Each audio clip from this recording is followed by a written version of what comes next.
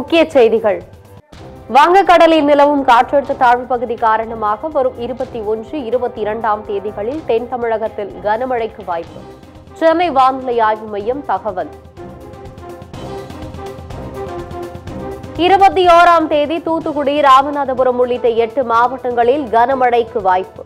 இருபத்தி இரண்டாம் தேதி புதுக்கோட்டை தஞ்சாவூர் திருவாரூர் உள்ளிட்ட பத்து மாவட்டங்களிலும் மழை பெய்யும் என தகவல். பழவேற்காடு அருகே மீன்பிடிப்பதில் ஏற்பட்ட தகராறு காரணமாக இருதரப்பு மீனவர்களிடையே மோதல். பயங்கர ஆயுதங்களை கொண்டு தாக்கிக் கொண்டதில் படுகாயமடைந்த மீனவர்கள் மருத்துவமனைகளில் அனுமதி.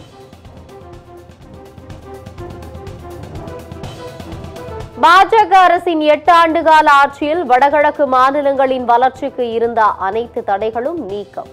வடகிழக்கு மாநிலங்கள் குழுவின் ஐம்பதாவது ஆண்டுகால நிகழ்வில் பிரதமர் நரேந்திர மோடி பெருமிதம்.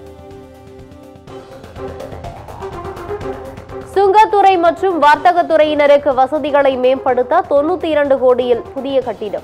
புதியதாக வரி செலுத்துபவர்களின் எண்ணிக்கை அதிகரிக்காதது வருத்தமளிக்கிறது என மத்திய அமைச்சர் நிர்மலா சீதாராமன் வேதனை. சென்னை சைதாப்பேட்டையில் அடையாறு ஆற்றில் மூழ்கி மாயமான ஒன்பதாம் வகுப்பு மாணவன் சடலமாக மீட்பு.